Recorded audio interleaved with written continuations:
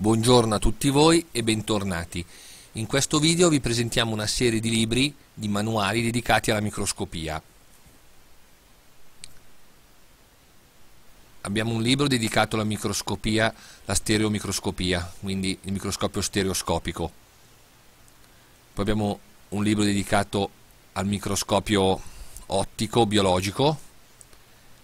Poi un libro dedicato alla storia della microscopia, e agli schemi ottici e al microscopio in generale e alla fotografia attraverso microscopio e poi un altro libro dedicato al microscopio digitale. Allora, vediamo prima un libro dedicato al microscopio stereoscopico. Questo microscopio è facile da usare e sarebbe il primo microscopio da acquistare lavora a bassi ingrandimenti e permette di osservare gli oggetti nella loro tridimensionalità. Lo usano i restauratori, gli entomologi per chi deve guardare fiori, insetti, i mineralogisti per guardare i minerali, per guardare monete, lo usa chi deve lavorare in elettronica per fare le saldature. Ha tanti impieghi ed è facile da utilizzare. Microscopio stereoscopico, ci sono vari modelli ci sono anche dei modelli che costano veramente poco e questo libro vi spiega i concetti e come funziona un microscopio stereoscopico.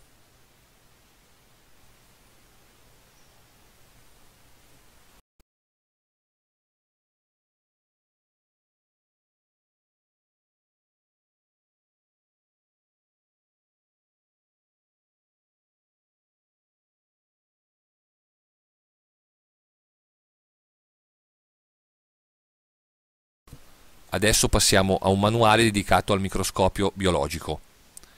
C'è una parte introduttiva dedicata alle lenti di ingrandimento e dopo si passa al microscopio biologico.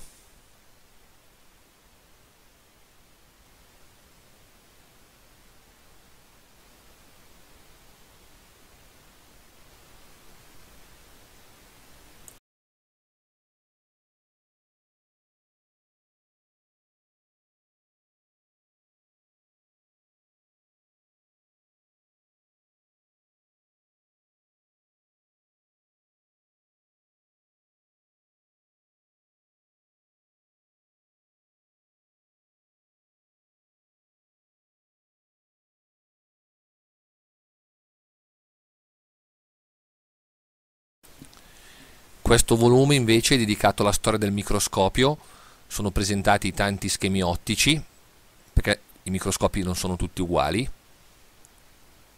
e poi è spiegata la fotografia al microscopio.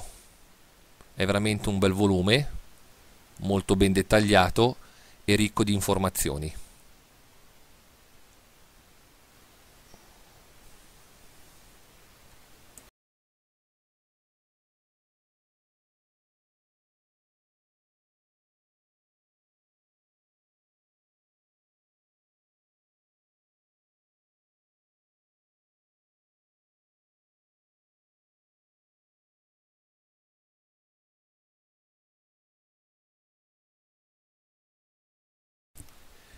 Finiamo con un libro dedicato al microscopio digitale. È un microscopio che si utilizza inserendo l'USB nel computer ed è valido per osservare superfici piane. Quindi trova impiego in tutto ciò che è piano. Quando dobbiamo apprezzare invece la tridimensionalità di un oggetto si preferiscono altri tipi di microscopi, come ad esempio il microscopio stereoscopico. Buona lettura e vi aspettiamo per il prossimo nostro video. Grazie.